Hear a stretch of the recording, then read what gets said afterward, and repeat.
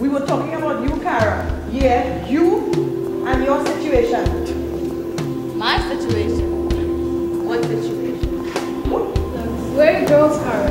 You don't have to keep secrets from us. Oh. Especially when things are so evident. You know, God has set aside certain criteria that we as women should look for in a man. Flaw in Big character. one, big one. One that just shouldn't be tolerated. And what is that? The man beating up your wife. You can't see what he's seeing. Why you can't see it? Are, are you okay?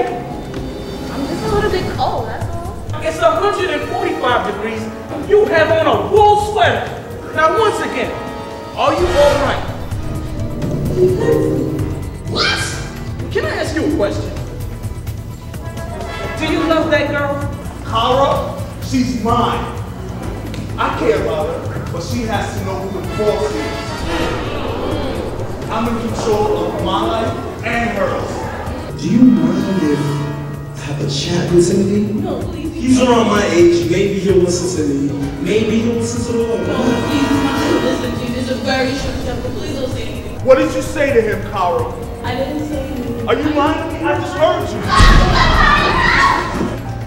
I am not. You can break the chain. And how am I supposed to do that? God! Choose God, and He will do it for you. I used to be through the splendid mercies of God. Where would I be?